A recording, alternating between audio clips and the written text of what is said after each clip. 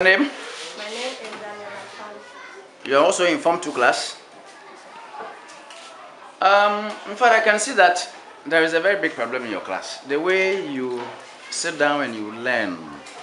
Look at some of your colleagues. Some of them are even have even put their books on just chairs and, and are writing.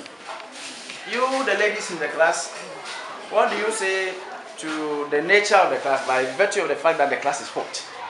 How do you feel when learning in such a condition? When we are learning, we feel hot because the classroom is very hot and there's no air to pass. And So does it disturb your studies?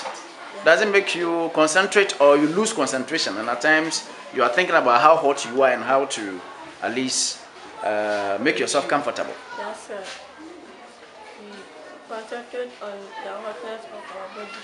So don't listen to what the teacher is saying when teaching. Okay.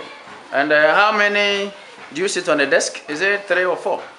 For some people sit in three and others sit in four. So I can see that you might be very happy if you get uh, desks that will support learning in such a way that maybe you sit uh, in twos. I hope that will be okay for the class. Yes, sir. Either you get dual desk where you sit in two, or you get mono desk where everybody will have his own desk. Okay, uh, we just wish you all the best. We hope that things shall improve. Understood? Yes, sir. We wish you all the best.